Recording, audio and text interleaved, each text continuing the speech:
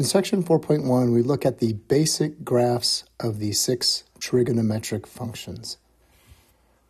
First, let's take a look at this table we have here. For the values of x, we are plugging in all of these angles between 0 and 2 pi. And for the y value, we are looking at the sine of those angles. So when x is 0, we know the sine of 0 is 0. When x is pi over 4, sine of pi over 4 is 1 over radical 2, which is approximately 0.7, etc. So I won't go through all these values here, but when you take those x values and y values and put them together, you get points, and you can graph those points. So the way we graph the sine function is we lay out on the x-axis the angles from 0 to 2 pi. So you can see them all here. And then on the y-axis, we're graphing the value of the sine of those angles, and that's all of these values here. So for example, when x is 0, the angle 0, sine is also 0. When x is pi over 4, sine is approximately 0.7. At pi over 2, sine is 1. At 3 pi over 4, sine is again 0.7, etc. And so what you should see is that the graph goes up, comes down, goes all the way down to negative 1 when x is 3 pi over 2, and then goes back up to 0 again because the sine of 2 pi is 0. This other graph here just shows some of the other angles that are not listed in this table, such as pi over 6, pi over 3, 2 pi over 3, etc. And you can see you get the same graph here.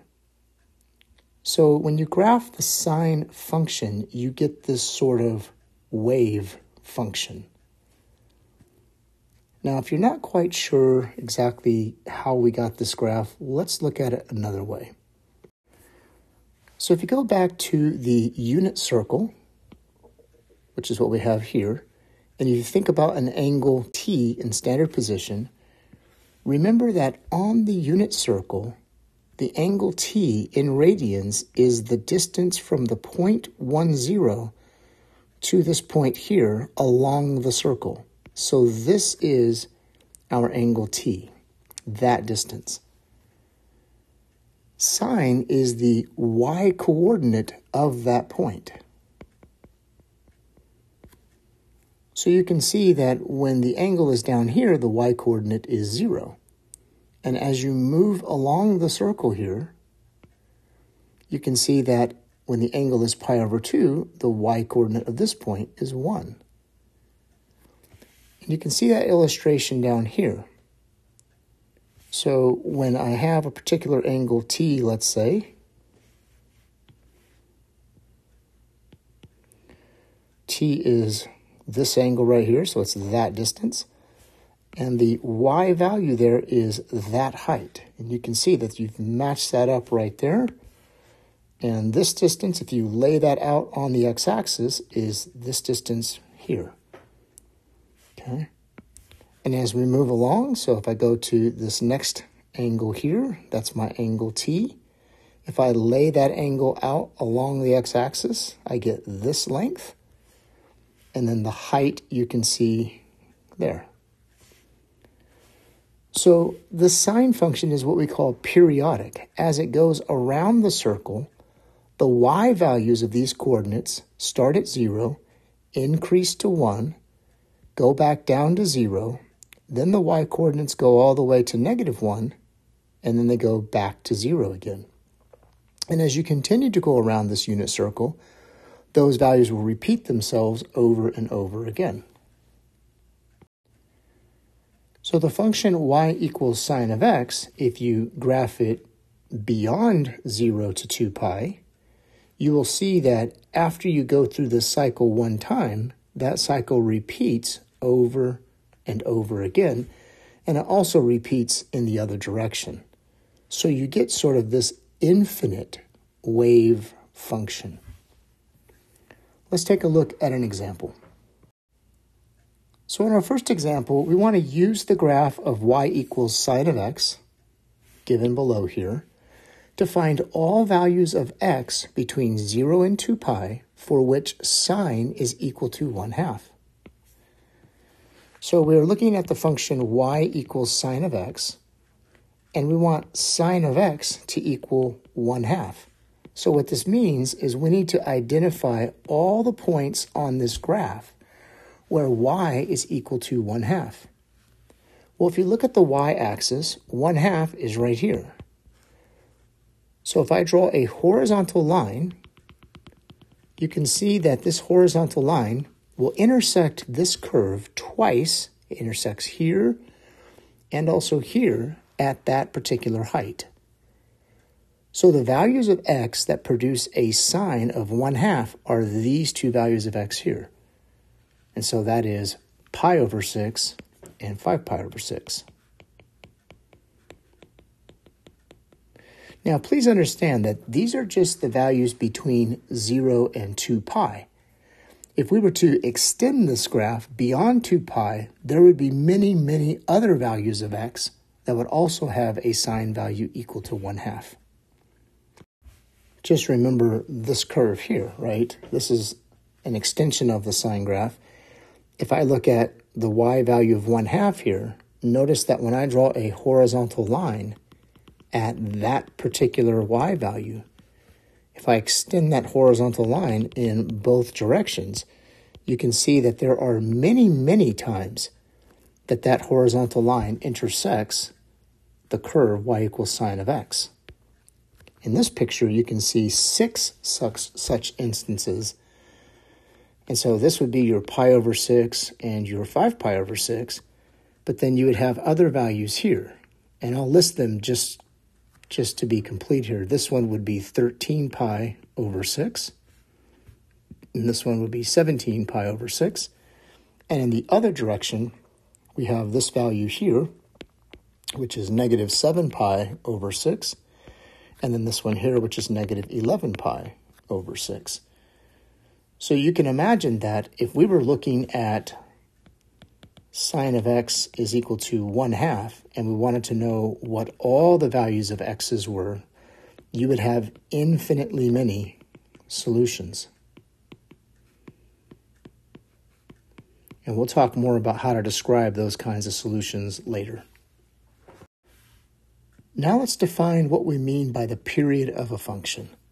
So the definition here says the length of the smallest segment on the x-axis that it takes for a graph to go through one complete cycle is called the period of that graph, or the equation that it came from. In symbols, if p is the smallest positive number for which f of x plus p is equal to f of x, and if this is true for all values of x, then we say that the period of f of x is p. So in the case of y equals sine of x, the period is 2 pi, since 2 pi is the smallest positive number p, for which sine of x plus p is equal to sine of x for all x. So again, if you just look at the sine graph, which starts here and goes through one complete cycle to here, that happens between 0 and 2 pi, and the length of that interval is 2 pi units. After that, that same graph repeats over and over again, infinitely many times. And every time it repeats, the length of the interval that it takes to repeat is 2 pi additional units. So that is why we say the period is 2 pi. Now let's talk about the amplitude of a function. So if the greatest value of y is capital M, and if the least value of y is lowercase m, then the amplitude of a graph is defined to be a equals 1 half times the absolute value of capital M minus little m. So in the case of y equals sine of x, the amplitude is 1 because if you look at your sine graph up here,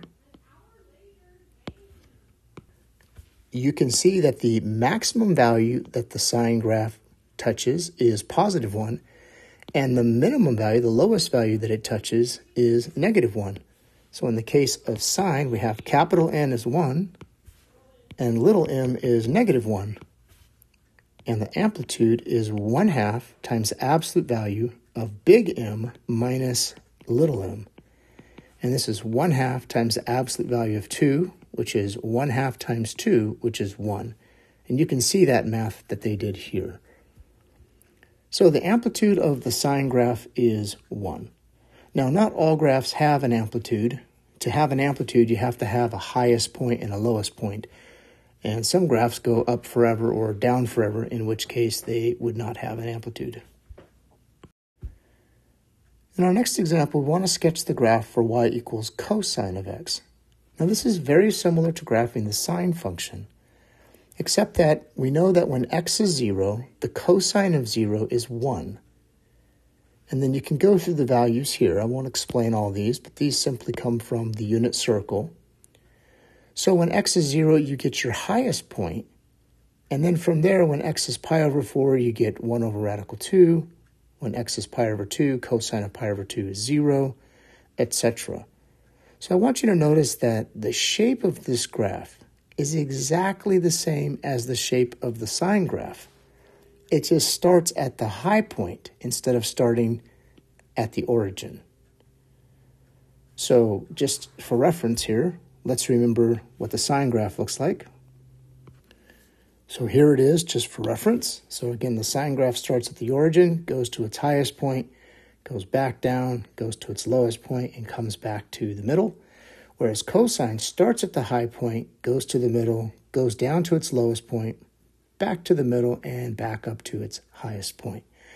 So again, these two graphs are very similar to each other. They both have the same amplitude and period, but they just start at a different spot in the curve.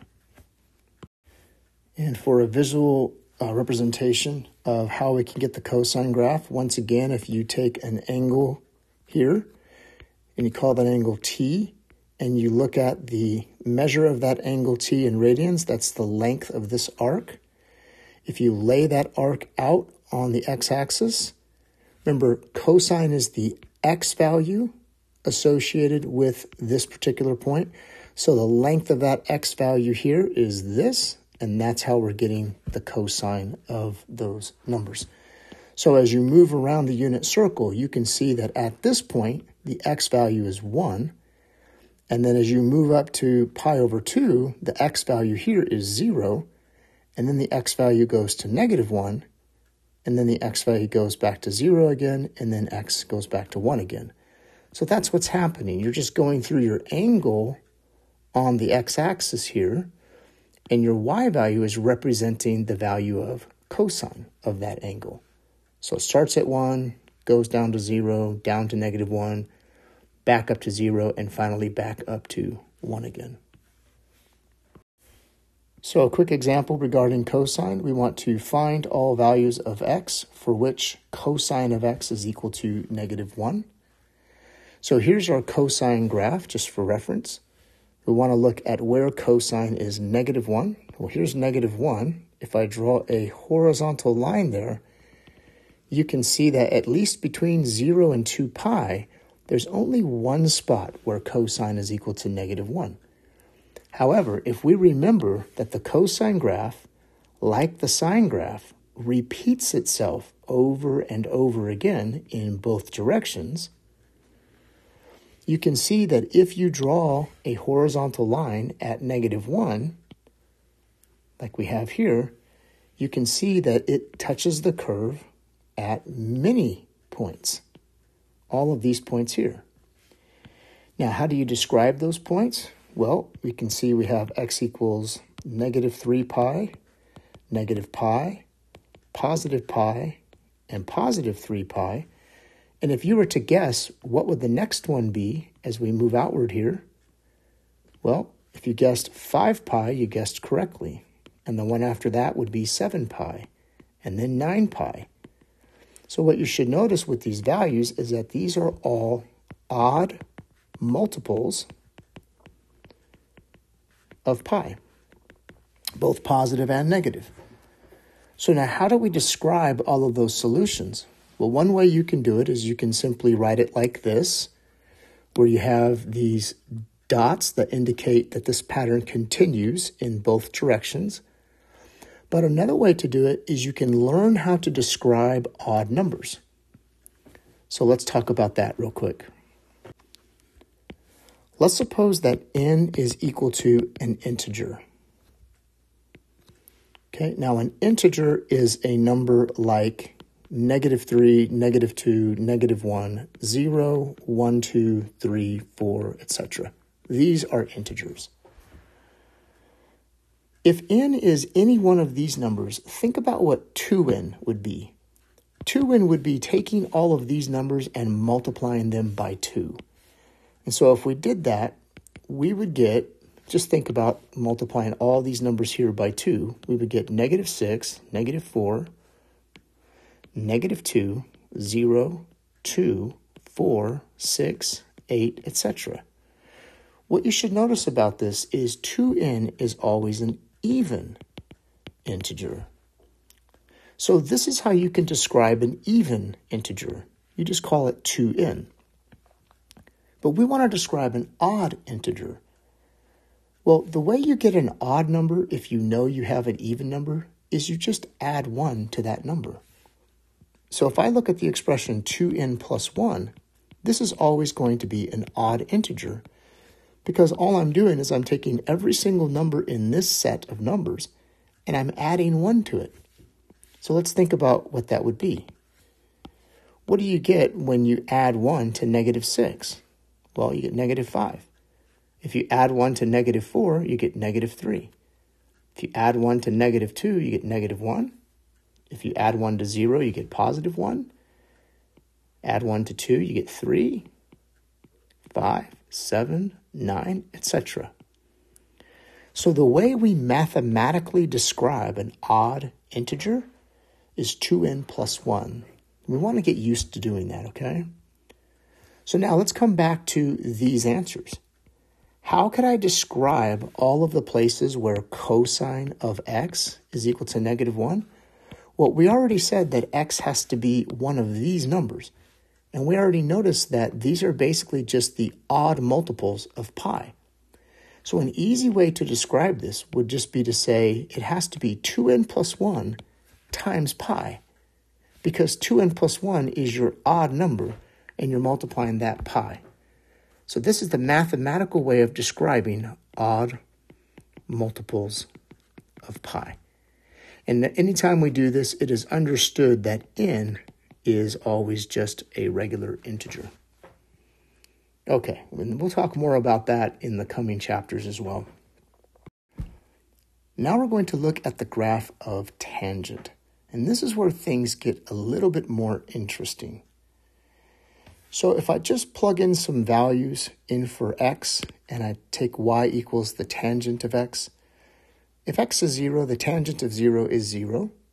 If x is pi over 4, the tangent of pi over 4 is 1. Tangent of pi over 3 is 1.7. And tangent of pi over 2 is undefined. Now let's talk about why is tangent of pi over 2 undefined. So let's remember that tangent of pi over 2 is the same as sine of pi over 2 divided by cosine of pi over 2. And sine of pi over 2 is 1, and cosine of pi over 2 is 0. And 1 divided by 0 is undefined. So when you look at the graph over here, which you can already kind of see, at pi over 2, you'll notice that we have this vertical line drawn right here. And that line is called a vertical asymptote. And what that means is that the tangent function does not have a value at that particular value of x. Okay, and this is because tangent is undefined at pi over 2. Well, tangent is also undefined at 3 pi over 2. And it's undefined at 5 pi over 2 and negative pi over 2. In fact, tangent is undefined at all of the odd multiples of pi over 2. So tangent is undefined if x is equal to an odd multiple of pi over 2. This is because cosine of an odd multiple of pi over 2 is always 0. Okay? So tangent is always undefined there. So that's why when you look at the graph of tangent, you have all of these vertical asymptotes. Now, why does tangent have the shape that it has? Well, it's because as the value of your angle gets closer to pi over 2, the value of tangent begins to increase. So tangent of 0 is 0, tangent of pi over 2 is 1, tangent of pi over 3 is 1.7, and if you look at more values of x getting closer and closer to pi over 2, you'll notice that the value of tangent begins to increase. And that is why you have this particular shape. And then in the negative direction, if you plug in negative values of x, you'll notice that you get larger and larger negative numbers. And so that is why the tangent has this very distinct shape. Now, once you graph tangent between negative pi over 2 and positive pi over 2, that graph repeats itself over and over again. So the period of the tangent function is pi, right, instead of 2 pi. So it's a little bit different than sine and cosine. Okay? So the main thing is when you're trying to think about how you're going to remember all this stuff is you want to remember what the graph of the first cycle looks like. So if you know the graph between negative pi over 2 and positive pi over 2 for tangent, you can just repeat that graph, right? So just this graph here gets repeated over and over again, and that's how you can learn to graph the tangent function. But you do have to memorize this first little section of the graph. So the next example says find the values of x between negative pi over 2 and positive 3 pi over 2 that satisfy the equation tangent of x is equal to negative 1. So what we're doing is we're looking at that tangent graph, which looks like this, and we're only looking at it between negative pi over 2, which is this asymptote, and 3 pi over 2, which is this asymptote. So you can see here that in between those two values, we have two cycles of tangent. And we want to know when tangent is equal to negative 1. So we draw a horizontal line at y equals negative 1.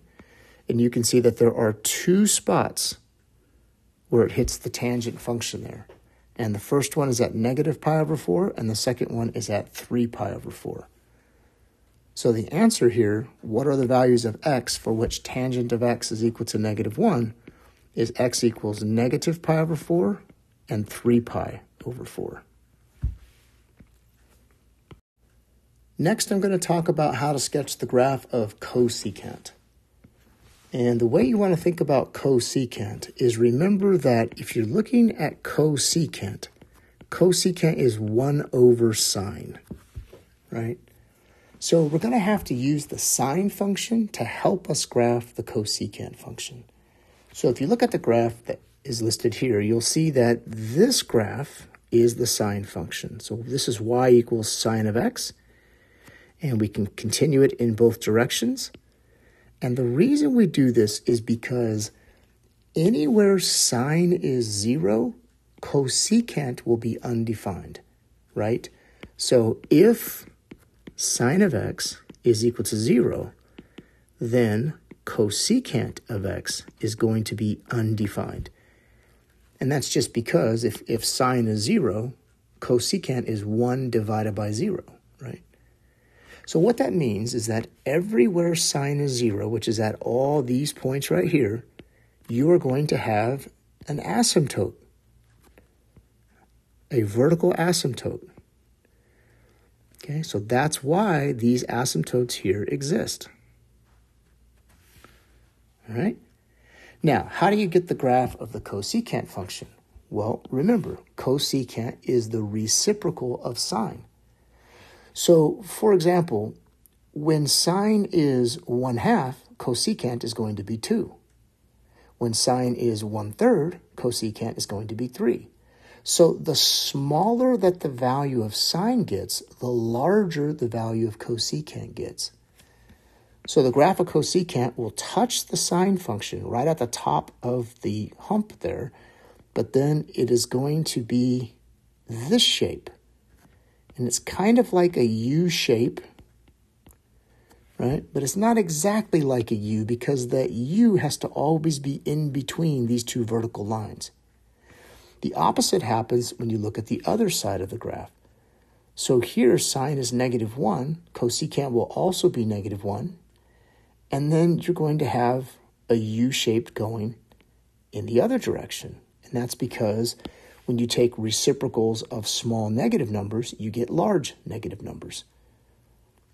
And so if you know what the graph of sine looks like, you can sketch that graph. You can draw asymptotes everywhere that the sine graph crosses the x-axis. And then you can just sketch these little U-shaped graphs. And this is the easiest way to graph cosecant. Now, the last two graphs that we haven't talked about are y equals cotangent of x and y equals secant of x. I'll talk about secant first. To graph secant, you do it the exact same way you graph cosecant, except that you need to remember that if you're graphing secant, secant is 1 over cosine. So what you have to do is you have to sketch the cosine graph, which is what you see here. And then everywhere cosine crosses the x-axis, you will have an asymptote at that value, just like you did for cosecant.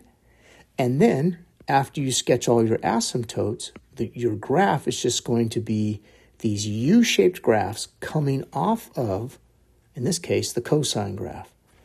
So the process for graphing secant is exactly the same as the process for graphing cosecant. And then cotangent, you'll notice that cotangent looks a lot like tangent. Tangent had a shape where it was going up. Cotangent has the same shape, but it's coming down. And cotangent also has different asymptotes. Now, how do you know the asymptotes for cotangent? Well, remember that cotangent is defined to be cosine over sine, right? So if sine is equal to zero, cotangent is going to be undefined. So remember what your sine graph looks like. Your sine graph, right, starts here, goes up like this, comes down like this, and goes back up like this. So anywhere sine is equal to zero, you're going to have an asymptote for cotangent. Okay? So that's a good way to remember where the asymptotes are for cotangent. And you can do the same thing for tangent as well. All right? Now, the, the short thing here is to understand the basic graphs, there is a certain amount of memorization that you must do, right? So you're not always going to want to think about why the graphs look the way they do. You want to go ahead and memorize these things. So you need to memorize the six basic graphs for your trig functions.